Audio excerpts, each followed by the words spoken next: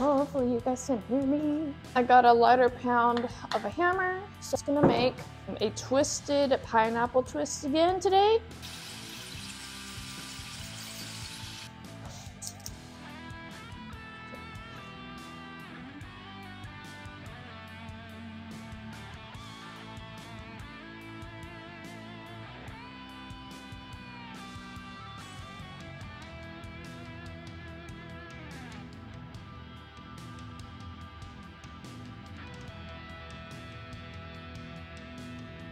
She just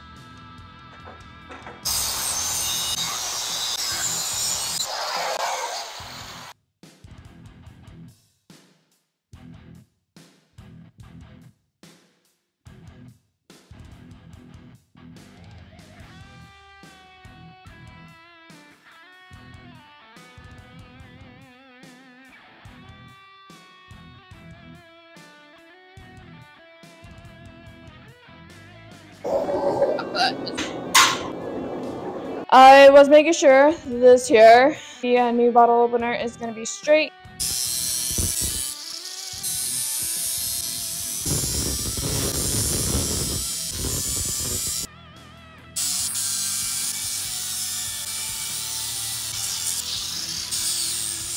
We're going to use an 8.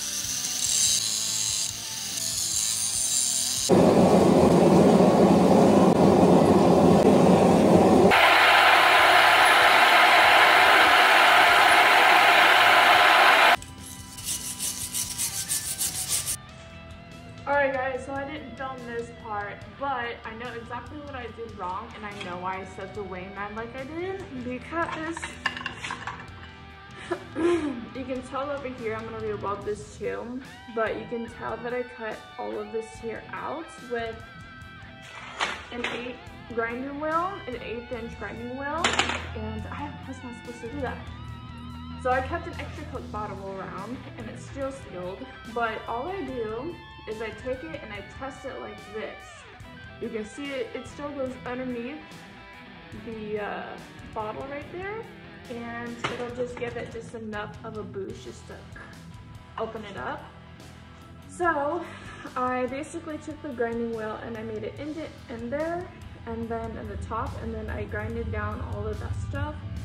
And then I took my cutoff wheel and I made another indent right in here. That way it can just slide all up into the can and then just like lift it up. Now I'm just taking a grinding wheel, cleaning up all of this mill scale that's on here, the rust, all kinds of stuff, and then I'm gonna go back in here, reload it, wire wheel.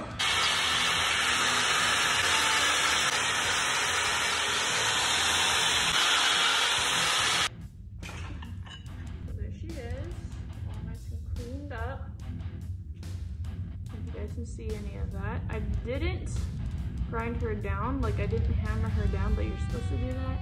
But I don't know, I kind of like it without it, but a lot of people don't like throwing stuff. I mean, I guess it just depends on the person, but this here is what I came up with, what the customer liked, so yeah.